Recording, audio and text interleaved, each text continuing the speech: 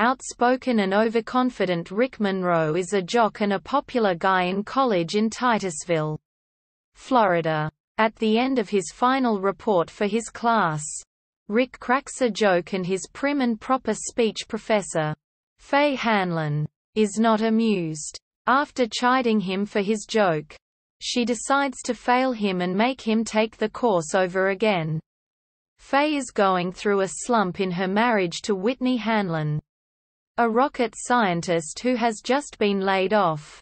Faye's free-spirited sister Patsy, visiting from Chicago, takes her to a male strip club to cheer her up. The show features a performer called Ricky the Rocket, who is none other than Faye's student Rick. When he notices Faye in the crowd, he gives her a very special lap dance, kissing her in the process. The next day, Faye and Rick run into each other at a school function. Initially, Rick is interested only in convincing Faye to allow him another chance at his final and is rebuffed. He realizes that she is attracted to him and begins flirting. Faye arranges to meet Patsy near her hotel, only to discover that she has been tricked into seeing another performance by Ricky the Rocket. Since Patsy has to return home a day early, she turns over use of her hotel room to Faye, who calls Whitney and lies that she and Patsy are staying at Patsy's hotel together. Coincidentally, Rick's mother works in the same hotel.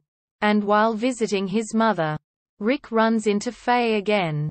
They return to Faye's room and have sex. Faye must leave and in her absence, Rick invites his girlfriend Slick to the room where she has sex with him as well. Faye catches them in the shower and, humiliated, flees. She realizes that she has been deceived. Whitney, returning home from an unsuccessful job interview, discovers that Patsy has gone home. Whitney travels to the hotel, where he catches Rick as the latter is exiting. He kidnaps Rick at gunpoint takes Rick to a skiff at a small dock, and forces him to strip. Rick, sobbing, complies. Whitney threatens Rick repeatedly, but ultimately only shoots holes in the skiff, leaving a naked Rick aboard as it sinks. Faye returns home to find Whitney waiting for her. She apologizes and he forgives her. At the end, the couple talk about their problems and resolve them.